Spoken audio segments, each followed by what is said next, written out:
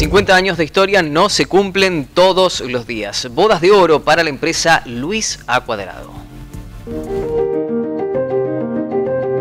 En Santa María de Oro 260, el 4 de septiembre del 74, comenzando vendiendo muebles de oficina.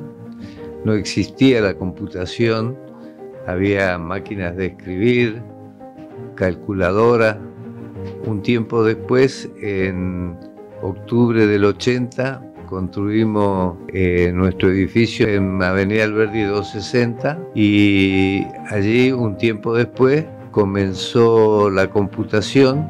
Nosotros fuimos representantes de IBM, pero antes de eso estaban máquinas muy, muy precarias como era la Commodore, la TI 59 y creo que IBM y Epson inician lo que hoy sería la, computadora personal.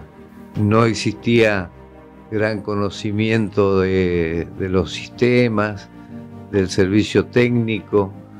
Fue un poco difícil esa primera etapa, pero por suerte la conseguimos superar y acá estoy con mi hijo.